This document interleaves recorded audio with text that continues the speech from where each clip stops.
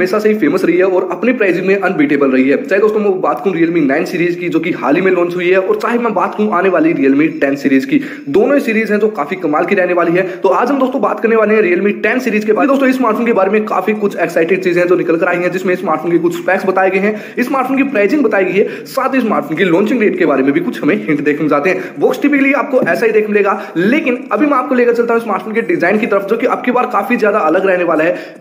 As to compare करें previous Realme Pro series से तो चलिए अभी हम शुरू कर लेते हैं। अब की बार दोस्तों बताया जा रहा है कि जो Realme 10 सीरीज़ होने वाली, यानी 10 Pro होने वाली है साइड पंच होल की बजाय हमें मिड पंच होल के साथ देखने को मिल जाएगा। अभी तक Realme की खास बात रहती थी कि अपने जो भी स्मार्टफ़ोन हो, चाहे दोस्तों वो तीस हज़ार या उससे ऊपर वाले स्मार्टफ़ोन हो, या एक मिड रेंज प्राइसिंग वाले स्मार्टफ़ोन हो, वो हमें एक साइड पंच होल डिस्प्ले के साथ देख मिलते थे। लेकिन अभी बताया जा रहा है कि ये स्मार्टफ़ोन में मिड पंच होल के साथ देख जाएगा, जो कि सुपर एमलेट पैनल के साथ देख जाएगा, और वन फोर्टी का रिफ्रेश रेट यहाँ पर हमें देखने को मिल जाएगा, जो कि दोस्तों अपने आप में काफ़ी कमाल की बात हो जाती है, जिसकी वजह से दोस्तों, जो इसके कलर्स हैं, वो तो बेहतरीन हमें देखने को मिलेंगे ही। साथ ही जो स्मूथ होगी डिस्प्ले वो भी काफ़ी अच्छी आपको देखने को मिल जाएगी। वही दोस्तों, जो स्मार्टफ़ोन की सबसे बड़ी मेन हाईलाइट रहने वाली है, वो स्मार्टफ़ोन का चिपसेट रहने वाला है, क्योंकि यहाँ पर मीडिया टेक डायमेंसिटी तेरह चिपसेट देखने को मिल सकता है। आपने सही सुना, हाल ही के लिक्स की अगर मैं बात करूँ, भाई, यही चिपसेट है जो हमें स्मार्टफ़ोन के अंदर मिलने वाला है, जो कि भाई गेमिंग के मामले में बात करूँ तो एकदम से आग लगा देगा, क्योंकि अपनी प्राइसिंग में ये सबसे पावरफुल गेमिंग स्मार्टफ़ोन हो सकता है, और यहाँ पर हीटिंग जैसे इश्यूज़ भी हमें देखने को नहीं मिलेंगे।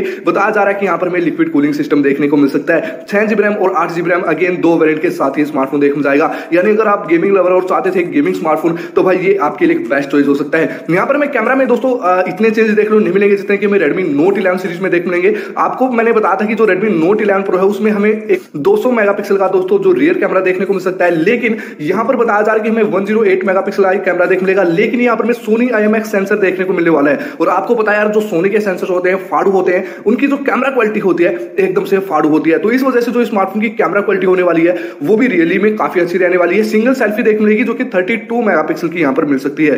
अभी लास्ट में फाइनल फीचर की बात को दोस्तों, वो स्मार्टफ़ोन की बैटरी रहने वाली है, जो कि बताया जा रहा है कि 4500 mAh की बैटरी देखने जाएगी और 66 वोट का फास्ट चार्जिंग स्पोर्ट देखने जाएगा जिसमें कंपनी का क्लेम करना कि भाई 30 मिनट के अंदर आपके स्मार्टफ़ोन को ये फुली चार्ज कर देगा। तो ये दोस्तों, सारी चीज़ें जो कि स्मार्टफ़ोन के बारे में निकल कर आई थी, जो कि मैंने आपको बताई। अब आप बताना यार, क्या आपको स्पेक्स को सुनते हुए लग रहा है कि ये अपने प्राइसिंग में अनबीटेबल स्मार्टफ़ोन रहने वाला है? प्राइसिंग की बात करूँ अंडर ट्वेंटी थाउज़ेंड रहने वाली है। लॉन्चिंग डेट की बात करूँ, अक्टूबर या नवंबर तक बताया जा रहा है कि अब हमें स्मार्टफ़ोन देखने को मिल जाएगा। तो भाई ये जी सारी चीज़ें। और सच बताऊँ तो भाई जो फीचर्स निकल कर आए ना, एकदम से कमाल के निकल कर आए हैं। चाहे दोस्तों कैमरा की बात करूँ परफॉर्मेंस की बात करूँ स्मार्टफ़ोन की डिस्प्ले की बात करूँ, हर एक चीज़ दोस्तों हमें यहाँ पर